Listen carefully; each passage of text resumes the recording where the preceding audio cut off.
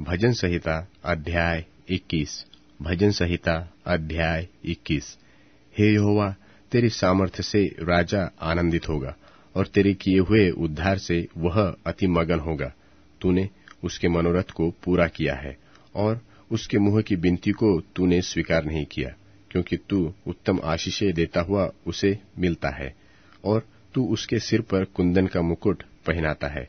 उसने तुझसे जीवन मांगा और तूने जीवन दान दिया। तूने उसको युगान युग का जीवन दिया है। तेरे लिए उद्धार के कारण उसकी महिमा अधिक है। तू उसको विभव और ऐश्वर्य से आभूषित कर देता है, क्योंकि तूने उसको सर्वदा के लिए आशीषित किया है। तू अपने सन्मुख उसको हर्ष और आनंद से भर देता है, क्योंकि राजा का भरोसा यहोवा के ऊपर है, और परम प्रधान की करुणा से वह कभी नहीं टलेगा। तेरा हाथ तेरे सब शत्रुओं को ढूंढ निकालेगा।